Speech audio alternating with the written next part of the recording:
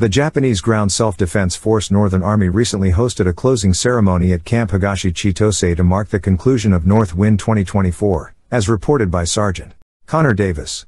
With over 150 U.S. soldiers and 650 JGSDF members involved, this exercise, the 31st iteration of North Wind, served as a platform for both nations to exchange tactics, techniques, and procedures in cold weather field training. Such bilateral exercises enhance the operational readiness and interoperability of Allied forces in diverse environments. Representing the U.S. Army were paratroopers from the 1st Battalion, 501st Parachute Regiment, 2nd Infantry Brigade, 11th Airborne Division stationed at Joint Base Elmendorf, Richardson, Alaska. SPC.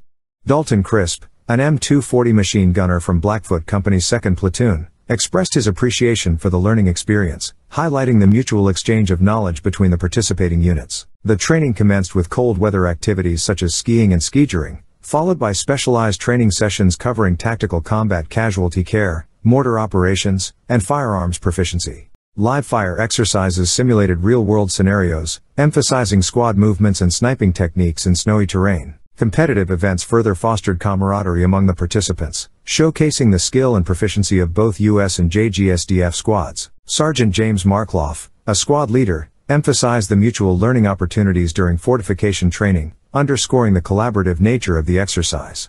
Transitioning into a field exercise, troops applied their acquired skills in a practical setting, culminating in a mock attack scenario. Throughout the exercise, the camaraderie and compatibility between the Allied forces were evident, reflecting their shared dedication to mission success.